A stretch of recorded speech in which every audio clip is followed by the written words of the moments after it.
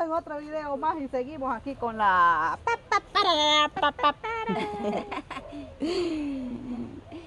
Tópense más para acá porque no los alcanciamos a ver. Aquí ve. Y ella está, muy, más, está más caliente. dijo, mami, aquí ve, mami. Mami. Mami.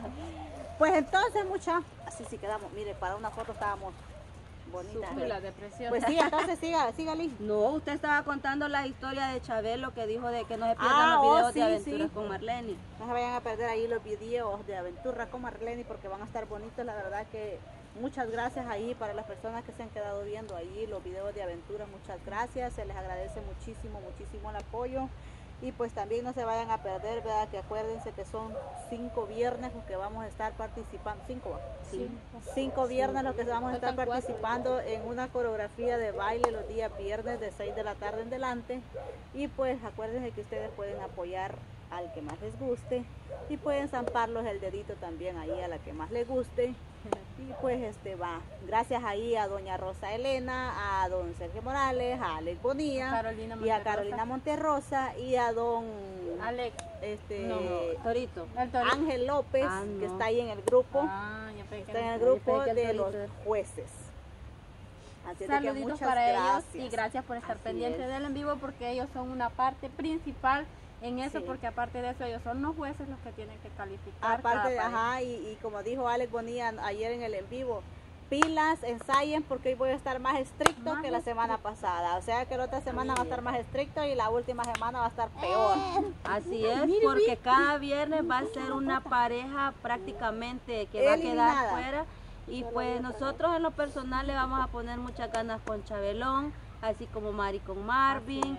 Eh, ahí A dar el todo por el Mayelito con con, Lupita. Y a Insulina con Marlene. Cabal estamos las cuatro parejas, ¿verdad? Sí. De mujeres Sí. que estamos por ahorita. Por ahorita estamos Y pues cuatro siento parejas. que, imagínese este, este viernes, eh, no, bueno, nos podemos ir una de nosotros porque Ah, exacto, tiene que sí. pasar Eso y sí. va a ir quedando como que más, más reñido, como que más... ay, como- Ay, más- más. Recuerden que también son géneros diferentes, Ajá. porque el viernes pasado bailamos géneros totalmente diferentes. Tal vez Marlene hoy este género lo puede hacer ajá. en, qué sé yo, cualquier género, yo igual. Eh, no el mismo género que bailé el viernes pasado, sino que es otro. Igual Mari, igual Lupe. Así, es de que no somos este, bailarines profesionales, se hace lo que se puede. Y también lo que Miki ahí pues nos está diciendo que sigamos porque él es el que nos ensaya. Y pues quieras o no, ahí pues nos pone- ponemos de nuestra parte para hacer lo que podamos y hacer lo mejor que podamos en los pasos que él nos dice. Sí, la verdad que sí. Pues gracias ahí a Miki, a mi cuñi, porque también me estaba contando el día de hoy de que había ido a comprar unos trajes así bien piqui, bien, bien así, bien bueno. Le caló lo que le estaban diciendo en el en vivo, que para el otro viniera bien. Ajá, porque dijo él de que este viernes iba a venir lo más presentado que pudiese. Entonces él me dijo que se había comprar tres trajes chingones, me dijo. Y Está le dije yo, vente, le dije yo, o sea, O sea que este viernes prepárense porque Miki va a venir rompiendo cadenas. A Como ver dijo- cómo Como aparece. dijo buen, buen salvadoreño, tirando salsa y curtido. Tirando así sal, es de que pónganle cadena, Yanin, porque si no, No, como decimos aquí en El Salvador, va a venir matando cuca. O sea, nosotros le decimos así cuando alguien viene lo va a matar a Yanin cuando o lo... algo. No. Ajá, es alguna como una palabra común Es o un típica de los salvadoreños. Ajá. Es cierto. Que nos identificamos con eso.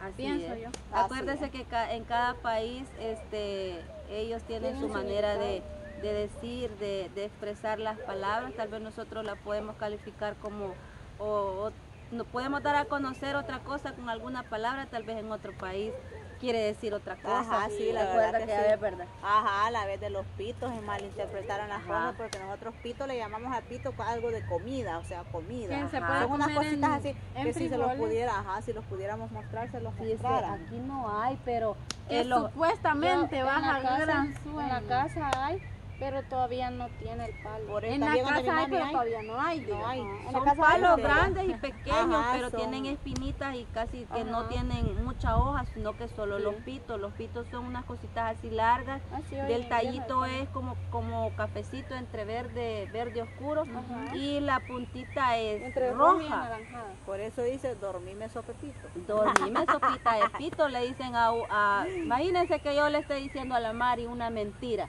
Viene la Mari y no me cree y me dice, dormime sopita de pito. Ajá, a eso, a eso nos referimos Sí, nosotras sí. cuando andamos así. Pero este no no porque porque sea mala palabra, porque para nosotros los salvadoreños no es mala palabra. En cambio nosotros fíjense que tenemos un vocabulario que a veces le decimos a lo, lo digo que, le- que tenemos porque a veces nosotros lo hemos hecho también de decirle, espérate monito, ya te voy a dar verga, o sea, al cipote, al niño, es una Duro, palabra pues, común decir para duro. nosotros. Y en otro, por lo menos en México, esa palabra es calvote. ¿Cómo le dije? Ajá. Es como que nosotros lo diga alguien rema. O sea, esa palabra para nosotros es y para otras personas allá es normal. Igual fíjense que yo Sí. cuando, bueno, yo tengo entendido que en Guatemala cuando a uno le hacen, o sea, estiran la mano y hacen, para nosotros aquí, que lo hagan así, Que lo hagan y nos así. están diciendo eh, juntos. pasmados, como Juntos dice Mari. pasmados que le hagan así. Pero ah, en. Guatemala, así mis respetos para los guatemaltecos y saluditos para todos los suscriptores guatemaltecos, Sí, pero sí, cuando sí. le hacen así tengo entendido que le está mentando la mamá. Ajá. Entonces siempre los, los así. Ahí le quiere decir tu, tu mamá. Ay, nosotros aquí así les decimos pasmados. Ajá, también. nosotros aquí, ajá, les decimos nosotros ajá. acá en El Salvador. Ah, entonces cada, cada quien, cada, cada país tiene su forma y su manera de interpretar las cosas. A mí me gusta ir a un guatemalteco cuando dice, este, Que no siente, Paisa. no siente caliente la piel. ¡Eh! ¡Cayeron! ¡Cayeron! baja, que ¡Cayeron! ¡Cayeron!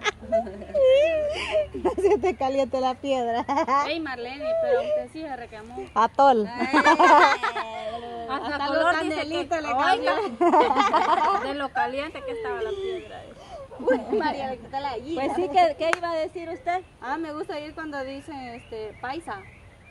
Que el día Paisa. en la, en la barra andaba, andaba diciendo, pruebe la semilla paisa. Ah, Sí, qué bonito, no, porque- bonito que es. No es Uy, mamá, esta que no ha ido a Guatemala con nosotras. No, pues, qué bueno. Fuimos a los cuernos. que y por nos eso fuimos a comer una viuda. Este la divorciada. Divorciada, viuda. Yo Yo divorciada. divorciada fui a Que comer. por que- cierto, comida tan rica que hacen en Guatemala. Ay, ese sí. saborcito que le dan ahí bastante exquisito y si fuéramos a México no digamos porque Ay, ese toquecito sí. que le ponen los mexicanos a la comida Es como un ese sabor pica ese picocito Allí sí comen como bastante dicen que. Fíjense mucha de que la vez pasada dijimos, va, Ajá. quiero ver cuánto va. Súbele la radio. es que no alcanzo a ver. no, faltan un minuto. Ah. Este, fíjense que la vez pasada mucha habíamos dicho ¿verdad? que íbamos a ir al Panajachel, Panajachel. Ajá. Y a Safari Chapín. al Safari Chapín.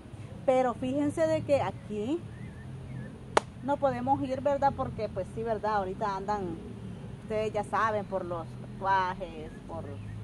Ahorita no podemos salir, ¿va? Pero yo tengo sueño, muy sueño muy grande de poder ir solo las mujeres. Solo las Me gruesas. encantaría ir al Safari Chapín y al Panajachel solo las mujeres. ¿Qué cree que nos Y dijeron no es por ir a conseguir un, un chapín o así, algo por el No, estilo. Así no, simplemente que es como algo para ir a como- conocer Ajá, No, pero. No, definitivamente Sí, tendríamos que quedarnos allá, venir hasta el siguiente día, no sé si es posible hasta el tercer día. dice usted que la van a dejar ir Ella está haciendo el plan y también con la maleta y el carro. No, ¿Cuánto mucha. vas que si me vas a dar Y tal vez le a solo. su casa. Si te llevas las cosas, andate de uno un solo. más le va a decir